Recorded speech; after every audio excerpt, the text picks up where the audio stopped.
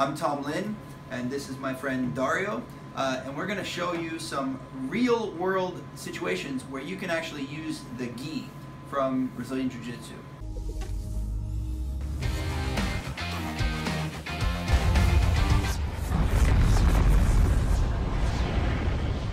I have side control here. I take my lapel, I hand it to this hand here, and now I circle.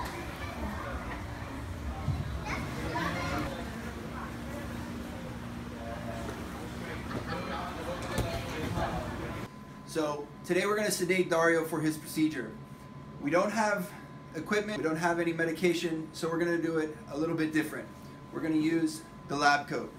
So I take the tip of the lab coat, I wrap around, I finish my note while he goes and takes his little nap, and we're ready.